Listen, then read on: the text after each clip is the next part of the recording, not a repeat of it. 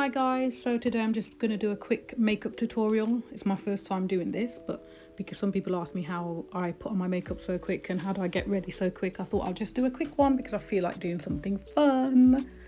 So yeah, as you can see in the bottom photo, that's how I was going to wear my face today, my natural face, but because I'm looking and feeling a bit under the weather, I thought to make myself feel a bit better, I'm just going to throw on some quick makeup and my makeup tends to last me five years because I don't use that much. So here we go. I'm going to be going through what I'm using. I think I'm only using one, two, three, four, five, six, seven items. First, I'm going to throw on some lip gloss. I'm just using a plain Rimmel lip gloss, light pink. And I think it cost me like £2, so it didn't really cost much. As you can see, my lips are already pink because my lips were dry. I popped something on today. Following that, I'm going to get my eyebrow brush and I'm using the Magic Collection gel eyeliner, which is waterproof and it stays on. And I'm just going to enhance my eyebrows. I've already got thick eyebrows, as you can see. I'm just enhancing them because I want to and I can. Doesn't really take me longer than five minutes to do what I'm doing now. The only reason it took me about nine minutes is because I was recording.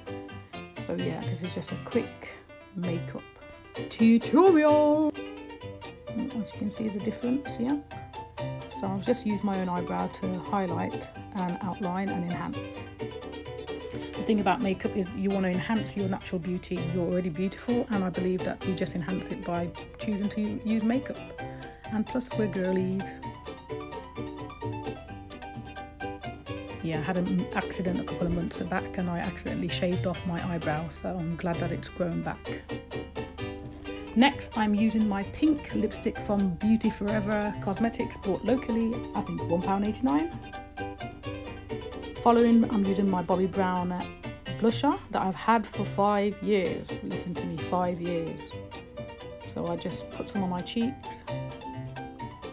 Following that, I'm using my Beauty Forever pad and it's got the bronzer and the dark brown couture but I've already got shadows on my face anyway so I just enhance what I've already got. I like to see the freckles so I don't like to cover it up and I definitely hate and dislike using foundation these days because it clogs up your pore.